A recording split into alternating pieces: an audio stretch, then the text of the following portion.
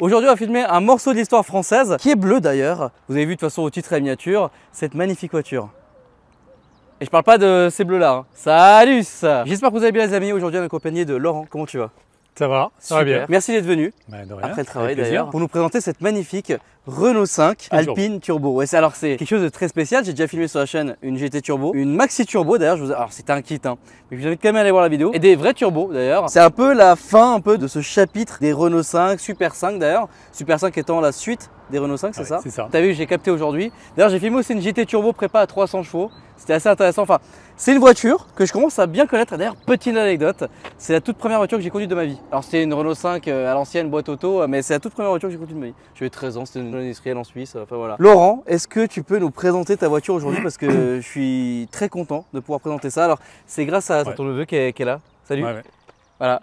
J'ai rencontré un événement ce week-end euh, de police euh, à l'ODEV. C'était très sympathique. Depuis quand tu l'as Ça fait 4 ans. Je cherchais pas du tout ça et puis j'ai vu une annonce et euh, j'ai craqué. Quand je l'ai vue, j'ai craqué, j'ai dit euh, c'est bon, elle est pour moi. Je comprends. Elle est bleue, elle est magnifique. Bah, bleu, Ouais. le fameux bleu euh, alpine. Enfin, franchement, Alpine, ouais. les elle est juste trop belle. Les jantes, les caches, enfin, elle a vraiment une bonne bouille. Voilà, on est sur un, un mythe, un mythe de l'automobile française Clairement.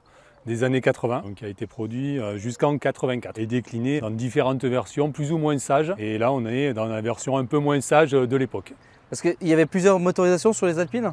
Alors, on a eu euh, sur la R5 en général, on avait des tout petits moteurs et avec euh, des finitions qui étaient très basiques puisque c'était la voiture de monsieur, madame, tout le monde tout- Oui. pour tous les jours. Et puis Renault est monté en gamme avec euh, différents modèles, un peu moins sages, un peu plus poussifs, les TS. Puis après, ils ont sorti la- l'Alpine et euh, pour finir, l'Alpine Turbo. On commence à faire un petit peu le tour et on va pouvoir euh, découvrir un peu le badge du véhicule. Déjà, premier exemple. Ça, c'est le premier. euh, ça te met en bouche ce qui est sous le capot. Et alors, ce qui est très intéressant aussi, c'est l'arrière du véhicule. Avec ce fameux badge, donc Renault 5 Alpine. Alors, c'est une époque où Alpine n'était pas indépendant. C'était Renault euh, pleinement. euh, et Renault avait euh, sa section sport. Ils ont sorti, ils ont développé euh, l'Alpine Turbo sur la base de la R5 Alpine. On va retrouver le même moteur, mais qui est suralimenté avec le turbo. Et c'est le début chez Renault des turbos qu'on va retrouver après euh, déclinés sur toutes les voitures. Et surtout aussi beaucoup à cette époque-là sur les Formule 1. Ils sont servis du turbo pour en faire une petite bombinette euh, de cette R5. C'est vrai qu'à l'époque, euh, est-ce que tu as eu une voiture comme ça à l'époque? C'est ce qui a motivé ton achat ou? M'a toujours fait rêver, elle m'a fait de l'œil à l'époque et Mhm. euh, bah, quand je l'ai vue, euh, ouais, voilà, je suis tombé sous le charme et je me suis dit, bah voilà quoi, elle est, elle est pour moi celle-là. Je comprends. Et donc en 4 ans, tu as parcouru combien de kilomètres avec? 5000 km parce que j'ai eu des petits soucis et puis surtout je voulais fiabiliser la voiture pour euh, pas être embêté sur la route donc j'ai fait beaucoup de petits travaux par moi-même, les roulements, les durites, des choses comme ça. Voilà. Des caprices de l'époque quoi. Ouais, des caprices de l'époque et puis surtout une voiture qui, avait, qui était restée 10 ans sans rouler. Ah ouais, ouais. Donc euh, le temps a fait son œuvre malheureusement et il a fallu euh, tout remettre d'aplomb. quoi. C'est un vrai redémarrage de la voiture. euh, Une belle sortie de grange quoi. Ouais. C'est compliqué les sorties de grange. hein. Ça vraiment, Ouais. euh, le véhicule quand il est vraiment à l'arrêt pendant très très Ouais. longtemps, ça c'est dur. Ouais, alors vraiment. là, moi je vous le dis, un véhicule, faut que ça roule, Oui. faut que ça vive. S'il ne vit pas, s'il ne roule pas, il s'abîme. voilà. Ça on est complètement d'accord. Et d'ailleurs, je vous invite à aller voir, il n'y a pas longtemps j'ai sorti une vidéo, une semaine en 205 GTI.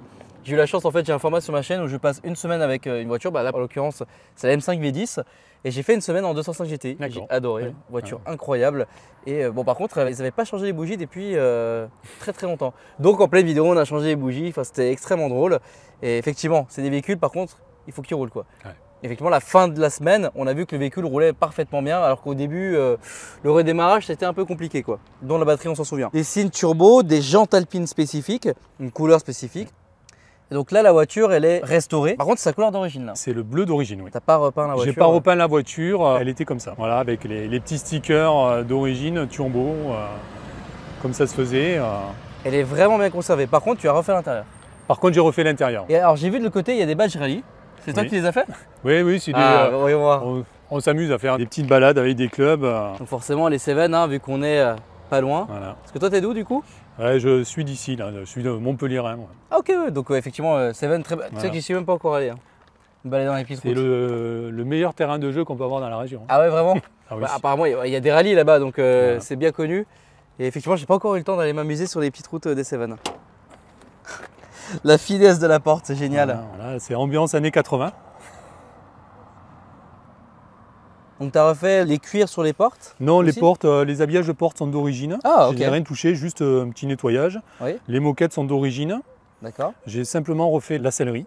Donc la Voilà. sellerie qu'on peut voir. Ah oui, la sellerie est vraiment très propre. Et le reste aussi d'ailleurs. hein. Voilà, un plafonnier neuf aussi. Cette entrée d'air était d'origine.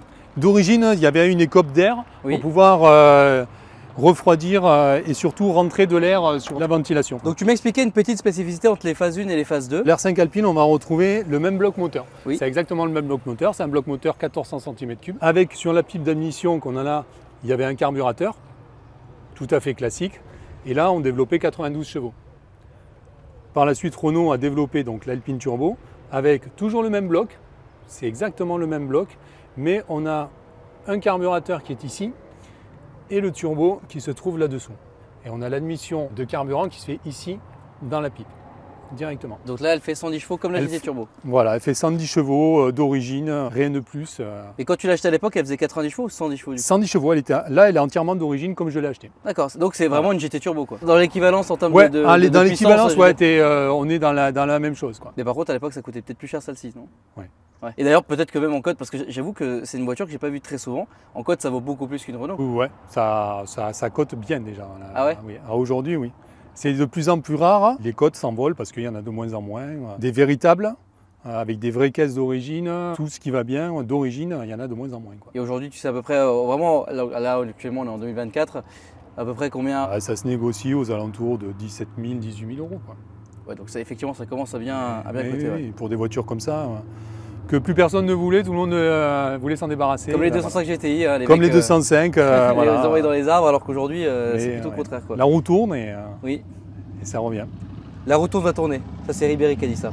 Alors, je te laisse venir euh, filmer le petit logo Alpine Renault. Ça, c'est très intéressant sur le blog quand même. Et le turbo, euh, pour le voir. Et là, voilà. Merci de filmer, Mimi. Donc, vous voyez un petit peu le bloc. Elle est vraiment géniale. hein. J'adore.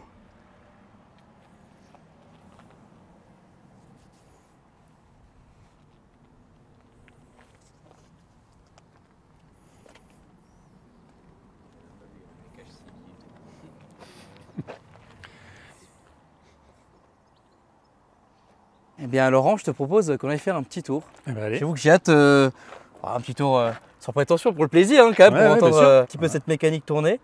Et je suis curieux de voir comment ça marche quand même, parce que tu sais que la GT Turbo, je l'avais essayé au Luxembourg, j'avais vraiment euh, conduit la caisse, etc.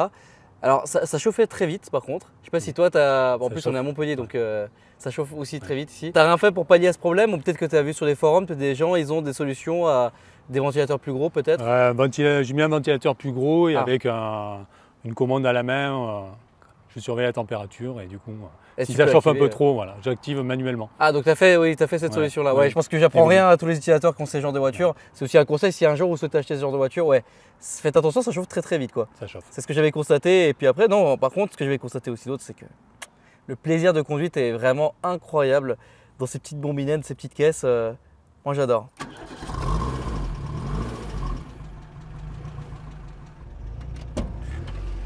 Petite porte. euh, on va voir un petit peu l'intérieur. Ah oui, euh, l'extincteur euh, nécessaire. Ouais, ouais, oui. Ah ouais, vraiment.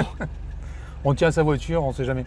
T'as raison, c'est vrai que ça c'est vraiment nécessaire dans toutes les voitures, je vous le conseille les amis. Il y a des pays où c'est obligatoire comme euh, la Belgique, Dubaï, etc. Mais bon bah malheureusement en France c'est pas obligatoire et je vous conseille sincèrement de mettre toujours un extincteur dans votre voiture, ça peut vous la sauver. En témoigne la Krone hein, qui avait cramé à l'époque. hein. C'est pas moi qui vais vous dire le contraire. Alors, prenons place, très confortable. Ah.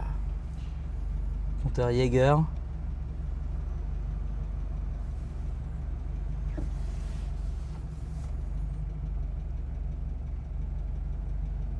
Ah c'est génial.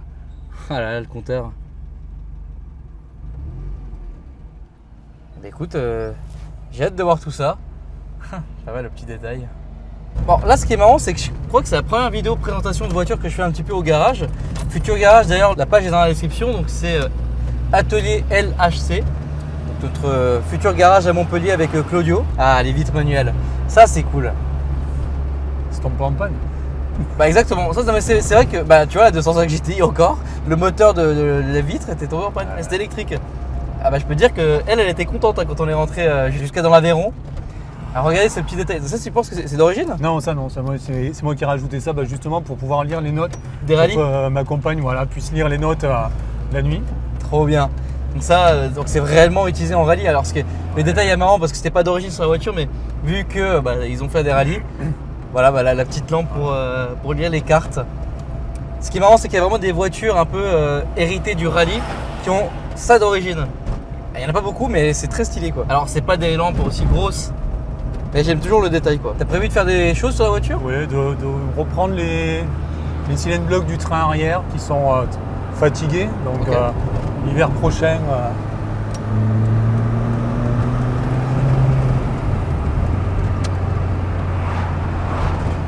Euh, les prochains travaux euh, pendant l'hiver. Ok. Tu fais 1 mètre combien?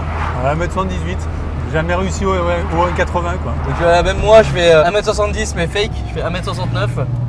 Décidément ça va vraiment me suivre partout ce chiffre. Et donc du coup, euh, bah, tu vois je touche presque le, le plafond quoi.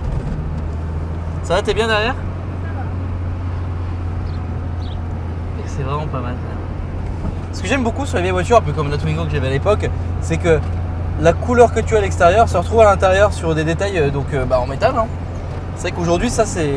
bah, tout est rempli de plastique et. Alors forcément c'est beaucoup moins sécure que ça mais c'est quand même vachement plus stylé quoi.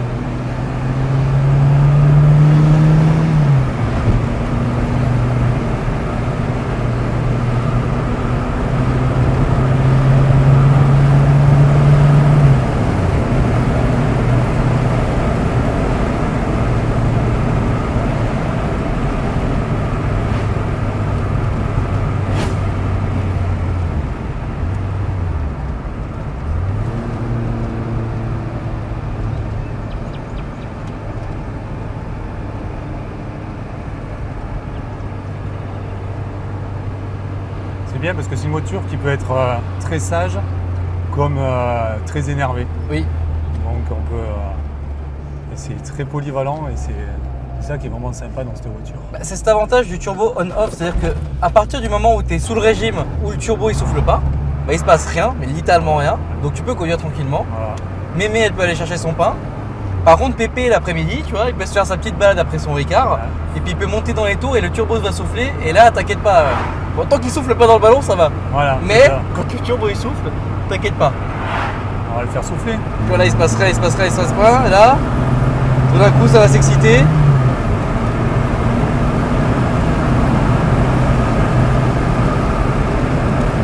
Et pour reconnaître une véritable euh, R5 Alpine Turbo, les vitres sont euh, légèrement fumées.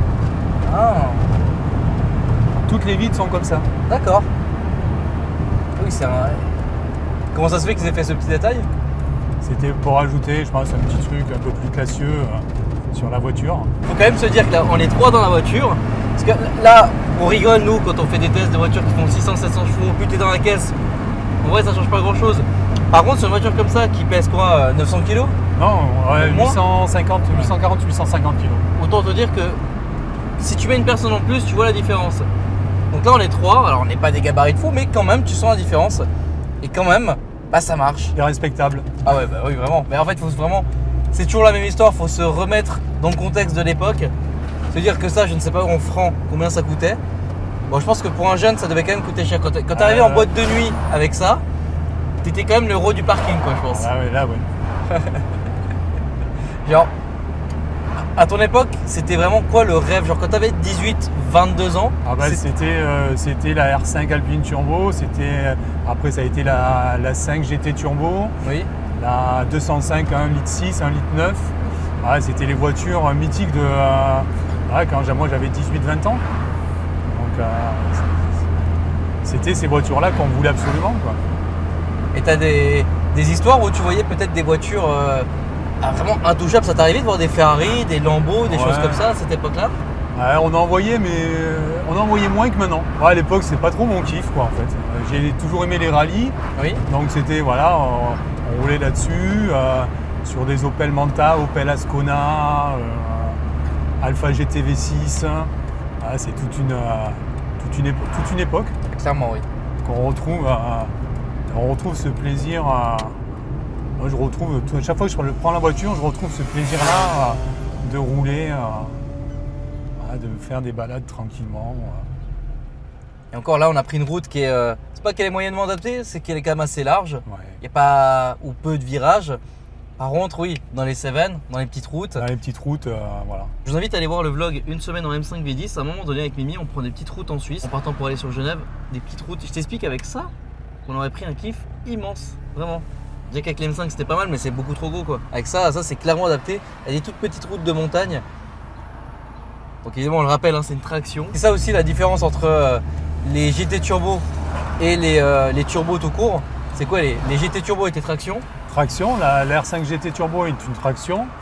Euh, Celle-ci est une traction. Et la Turbo 2, qui est sur une caisse un peu semblable, la même caisse que ça, mais survitaminée, on va dire. Elle, elle avait un moteur central arrière. Et d'ailleurs, le bloc moteur de la Turbo 2 est le même moteur que celle-ci. Ah ok, la même, c'est la même base. C'est la même base. Ah ok. C'est euh, mais nettement amélioré avec un, Un Garrett. Voilà, un, un gros garrette euh, et tout ce qui va bien et euh, beaucoup, beaucoup plus de chevaux. quoi. Et dans l'ambiance de la, de la Turbo 2, euh, on retrouve exactement le même tableau de bord, un peu plus fourni au niveau instrumentation, Mhm. mais on retrouve la même chose, les mêmes sièges. Euh, voilà. C'est vrai que oui. Mais écoute Laurent, vraiment, ça m'a fait un grand plaisir de faire ce tour avec toi. Que tu nous racontes un petit peu euh, l'histoire de la voiture et puis à quel point tu aimes la rouler. Et la petite anecdote de fin. Laurent, merci beaucoup, vraiment. Mais merci à toi pour ton accueil. euh, C'était un grand plaisir de faire découvrir hein, cette voiture. Qu'on croise Ouais. malheureusement pas assez souvent. Voilà. Renault 5, des Super 5, des GT Turbo, on en croise. Alors évidemment, des turbos tout court, c'est rare, mais on en croise aussi. Mais des versions alpines, quand même beaucoup moins. Un grand merci d'avoir partagé ça avec nous. N'hésitez pas à liker la vidéo si elle vous a plu, à commenter, à nous dire ce que vous en avez pensé dans les commentaires, à vous abonner. Et nous, on se dit à la prochaine pour de nouvelles aventures. Salut